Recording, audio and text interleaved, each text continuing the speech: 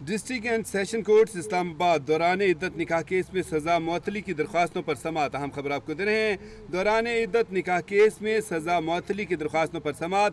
اپیلوں پر سماعت additional and session جج افضل مجوکا نے کی۔ آپ کو بتائیں کہ بشا بی بی کے وکیل عثمان ریاض گل ایڈوکیٹ عدالت میں پیش ہوئے۔ اہم خبر آپ کو دے رہے ہیں۔ دوران عدت نکاح کیس میں سزا معطلی کی درخواستوں پر سماعت district and session courts Islamabad میں ہوئی۔ آپ کو بتائیں کہ اپیلوں پر سماعت ایڈیشنل اینڈ سیشن سیشن جج افضل مجوکا نے کی بشرا بی بی کے وکیل عثمان ریاض گل ایڈوکیٹ عدالت میں پیش ہوئے آپ کو بتائیں کہ عثمان ریاض گل ایڈوکیٹ نے اسلام آباد ہائی کورٹ کا تحریری فیصلہ عدالت میں پیش کر دیا عام خبر آپ کو دے رہے ہیں، دوران نکاح کیس میں سزا معطلی کی درخواستوں پر سماعت ہوئی۔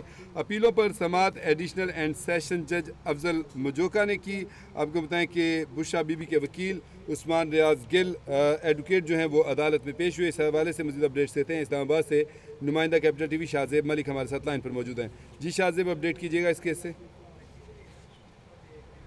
دیکھیں ڈسٹرکٹ اینڈ سیشن کو اسلام آباد میں دوران عدت نکاح کیس میں سزا خلاف جو اپیلوں پر جلد سماعت کے لیے مقرر کرنے کی سزا مسئلے کی درخواستوں پر سماعت ہوئی ہے۔ اپیل پر ایڈیشنل جو سیشن جج ہیں، افضل مچو کو انہوں نے سماعت کی ہے، جبکہ بشا بی بی کے وکیل عثمان ریاض گل جو ان سے عدالت کے سامنے پیش ہوئے ہیں۔ اور انہوں نے موقع بنایا کہ انہوں نے تحریری حکم نامہ بھی جو ان سے اسلام آباد ہائی کورٹ کا وہ، انہوں نے وہ عدالت کے سامنے پیش کیا ہے۔ اور یہ کہا کہ ڈائریکشن آ چکی ہیں۔ آپ کل کے لیے جو ان سے یہ رکھ لیں سماعت جس پر جج جو عبد المجوکا انہوں نے کہا، اگر میں زندہ رہا تو دس دنوں میں جو ہے فیصلہ کر دوں گا۔ کل ممکن نہیں ہے تو بہت سی ضمانتوں کے جو کیسز ہیں، وہ لگے ہوئے ہیں۔ مزید نے کہا، اگر دوسری پارٹی پیش نہ بھی ہوئی تب بھی میں جو ہے فیصلہ اس کو کروں گا۔ اور جو عثمان ریاض گل ہیں، انہوں نے کہا کہ کل کے لیے سماعت رکھ لیں نوٹس ریکارڈ کا حصہ ہو جائیں گے۔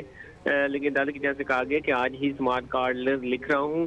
اس میں نوٹس سے بھی بہت بڑا کچھ ہوگا اور اس کے حوالے سے عدالت نے کیس میں سماعت میں جو ہے وقفہ کر دیا ہے۔ جی۔